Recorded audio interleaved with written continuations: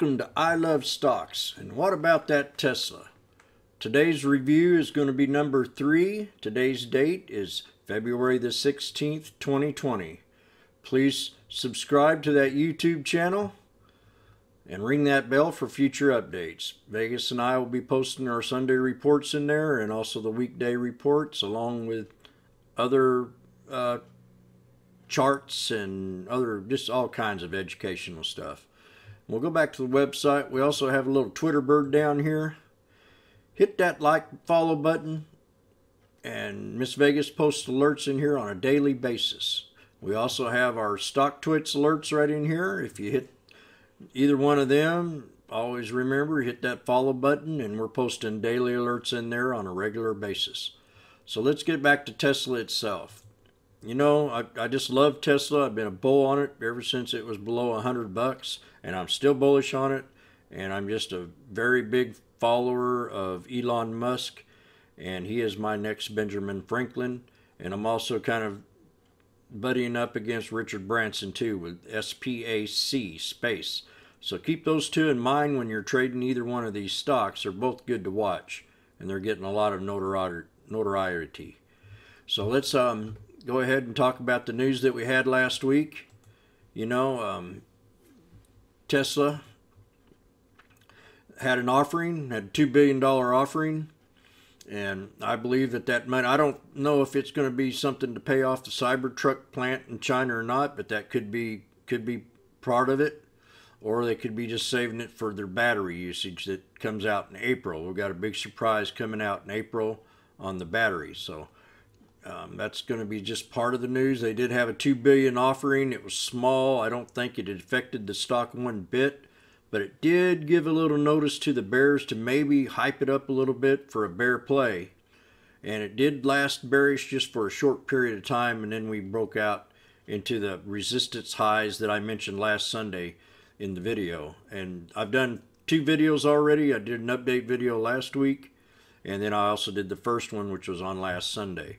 So the next news that it got, there's the offering right there. And then it had a recall news. We had 15,000 models of the X electric SUV recalled. Now this here is the 2016 model and it had to do with the power steering. Probably just a couple of bolts that need to be tightened up or something like that. But it wasn't a major issue in my opinion. It was a very small, I mean, all the way back to 2016. You're going to have recalls on any car. And, but it give, like I said, like a double excuse. Both the offering and the recall happened about the same time. So the Bears thought they were going to bring this on down. And I've always said, and I was telling the room, I'm bullish on this stock. You know, it's a short, small play if you want to play the little pullback. But I guarantee when it dips down to my support lines, it's going to bounce back up, which it did. So let's kind of look at the two charts that I had. This is the first video I did. It, call it a bullish bear trade of 2020. And I believe that along with bind, B-Y-N-D. But this video was made on the 9th. And as you can tell, I had a little channel that I wanted to keep the stock in. And I didn't want it to break below that channel if it did, I wanted I wanted to create a channel is what I wanted to do this week. And by gosh, if we didn't do that and we hit my little hard resistance, which I'll talk about here later in the room or later later down the line, but I think that was right here around the 81389. I said I didn't want it to go above that. I wanted to come back down and, and create a little channel in here. And we did pull back to that low support of the channel. Now on the second one, let me bring this back down, and I video number two, you can tell this was the first week. This is when I come out with a report. And then that morning we had the breakup past resistance. And here we did. We hit that. If you watch this video that I did on Sunday, I just said I didn't want to go anywhere past 813.89. And we hit that 813.89 and then pulled back. And that's what this stock does. It kind of pulls back a little bit, but it stayed within that little pivot point that I had right in here. As you watch that first video, there's a little red line chalked right in here. And I'll widen this up a little bit. Right down here at 754.74. And I said I wanted to keep that in that channel. As you see, the red line right there, and pulled right back to the top of that, to the inside of that pivot point channel, and it did kind of kind of consolidated the next day, and then we were getting that news that came out about the end of the day with the uh, with the um, with, the uh, offering and also with the uh, recall, and it pulled it back. It pulled it back to the support level that I had already on here at 732.35, and then she went ahead and bounced on up, got back up into the what I would call the gift area. I said anytime it went past that 793 to 813, that was going to be a gift. And look what happened. We were right here, and she went ahead and she hit that high again, and it was a gift. So if you took your money, that's fine. If you wanted to swing it into next week, I can understand that too. Because we did have, even with the recall news, it didn't get shorted that much. And it did create a higher low, which is positive. And on the way up, we had that double top. So we could be setting up for a double top breakout if it pulls back to this pivot point or maybe this top line of this pivot point area.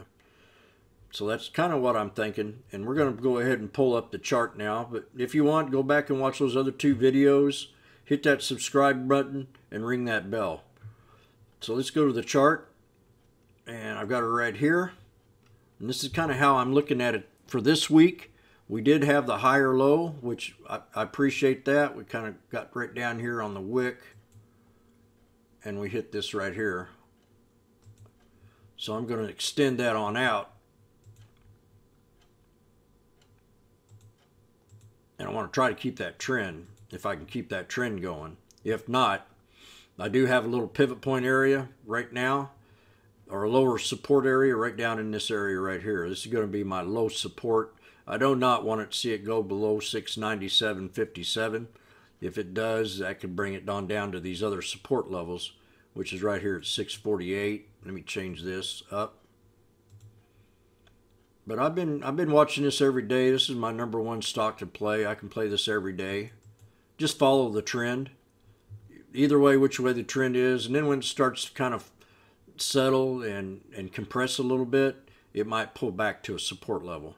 But we do see that that head and shoulders right here, and she did kind of the next day did have higher lows, and but she did pull back on that recall news, and then here we are back up here with a double top. So I'm kind of excited about this trade. We did have a nice run on that day, and then she consolidated on Friday. So let me pull up the yearly chart and just have a look at the yearly. It's had a wonderful run all the way from the call that we made at 180 in the room up to the 200. Then she pulled back. I had the golden cross right here, and then it's been green all the way up. You know, even with the, the, the Cybertruck fallout, of the cracked windshield. It did kind of pull back on that news. Earnings came out and bam, and it didn't take long to catch on. And the ride went all the way up to about eight six nine sixty eight ninety nine. We had a target of a grand, and we come pretty close. So I alerted time to play the bear on it. Let the Bears have their way. You know, I'm a fan of the Bears. I'm not a bear, but I, I can play the bearish way if I want to. And I do on some tickers but I'm really a bullish trader. I like to play the bulls, play along with the bulls. I just think it's it's it makes me happier knowing that I'm trying to bring it up instead of down. But we have had a ascending triangle here. If you look on this run, we've had the higher lows, and it just keeps on making them higher lows. And we kind of have what I would call almost a, a symmetrical flag, but not with too much of a steep or a pennant flag. You could call this a pennant flag also. And I'm going to bring that, show you what I mean here. We'll hit this little spot right here, bring her on down. So we've kind of got us a little pennant flag going. And we're about ready to, I think, maybe into this coming week. We do have a four-day period.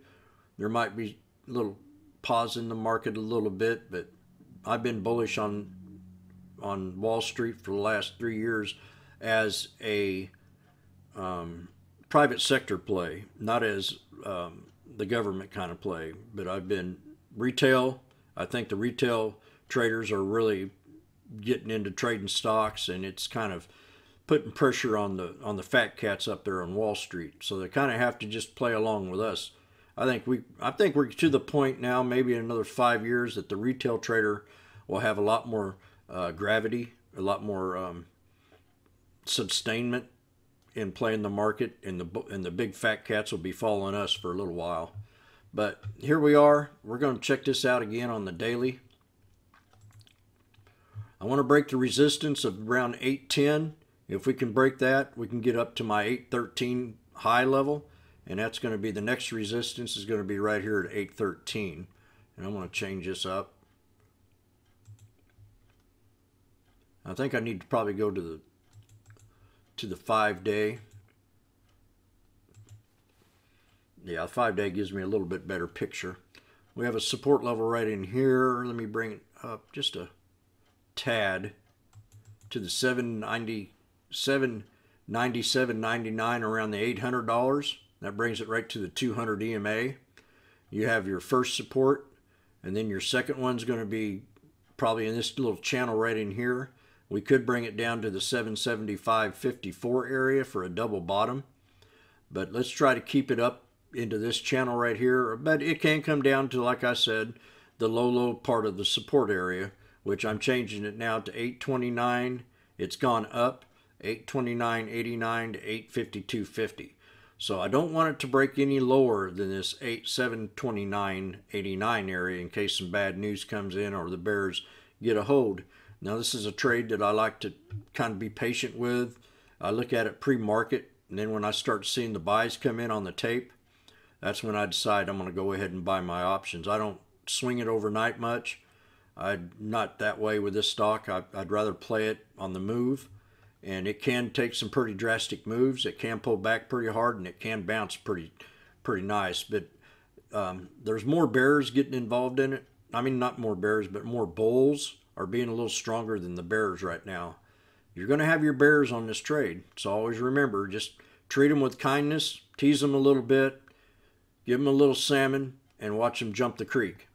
I think we're the dam's going to be right around here around 813. That's what we got to break. We can break that 813, we're going to go back to the previous highs that we had. Let's go to the 10 day, and that's going to be up in this area right here. So if we break that 813, you can almost count on it going up to 822, not 820, well, let me get this right. Yeah, 822.22. Then you got another little resistance level right here around 833.57. But we are creating lower highs, and I appreciate that and we are kind of getting into a squeeze play. Maybe this week will be the week that it decides to go ahead and consolidate a little bit more, and then we'll break that resistance. or we'll and always look for patterns in this trade. Look for the ascending triangles. Look for the lower highs for maybe a, a, a pullback. But when we start to consolidate up here, here on the top, it starts to get a little tired and it'll pull back a little bit see, we had this kind of consolidated area for about 25, well, about an hour, hour and a half, oh, well, one, two, uh, two and a half hours. And it never could break that 810. So you, you have to think, man, that's going to be the time that it wants to pull back a little bit. Take your profit, jump back in the trade on the pullback, and then watch the trend on the way up. And this is Tesla and I'll do another. I'll keep doing reviews on Tesla, and I'll probably just keep doing all doing until I quit trading. I do love this stock, and let me go back to our website. This is I Love Stocks. Have a great day.